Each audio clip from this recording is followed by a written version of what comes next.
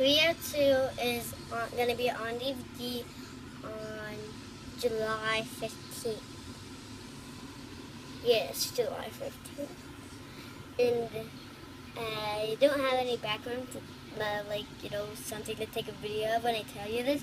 So I just took a, like, did a video, I'm doing a video of the picture I got, blue, a VRT Blu-ray and DVD picture.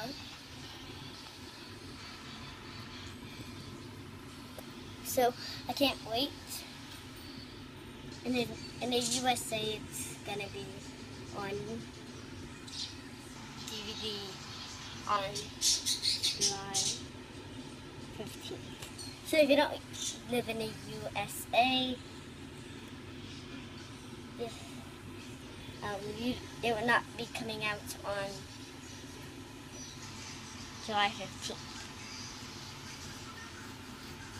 So this is a pretty nice picture.